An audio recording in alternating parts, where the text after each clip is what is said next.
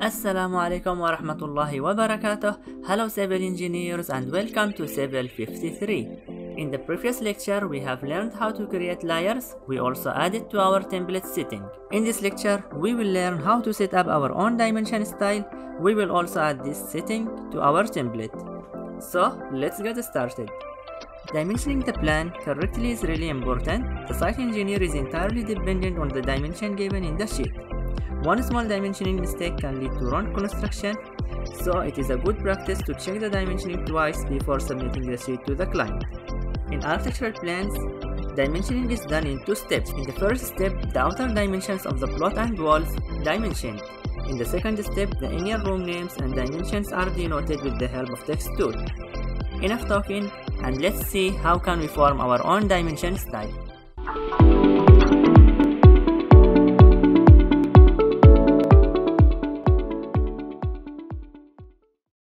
Let's select our template, left click. My architectural unit system fit to select left click.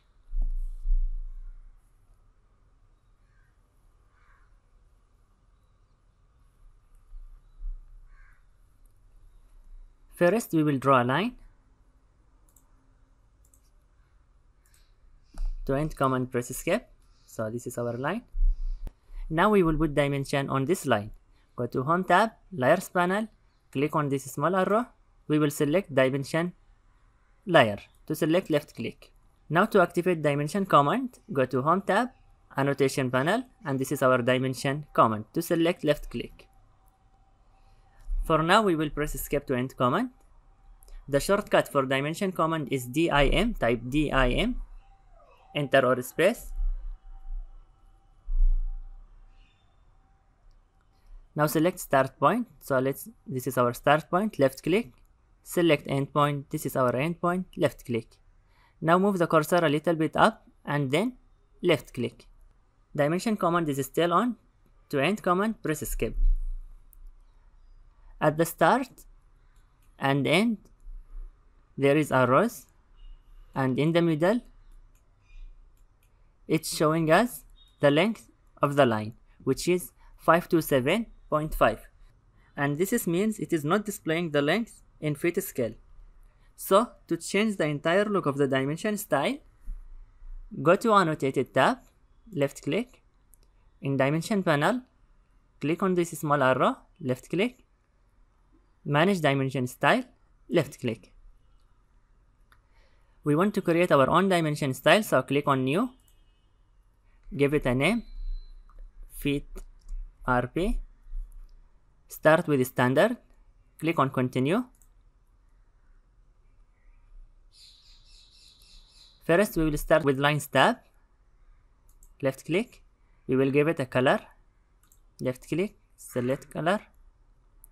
So let's select this one, gray 253, click OK. In extension line, the same thing, we will give it a color, select color, 253, gray color, OK. Now go to symbol and arrows tab. We will change the arrow size to, we will make it 2 inches.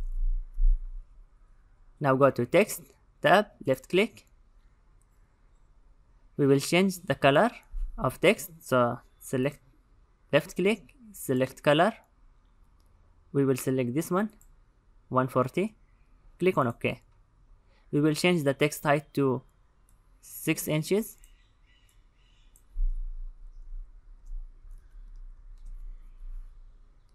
Now let's go to primary units tab, left click.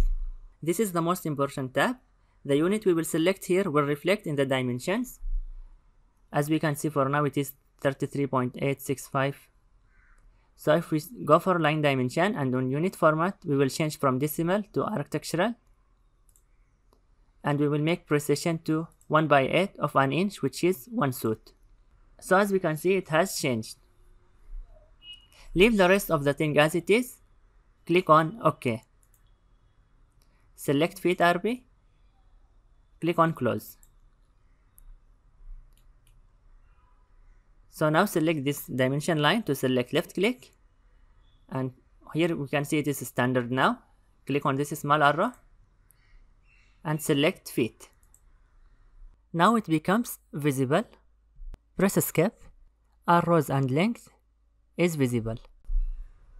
So we have created our own dimension style.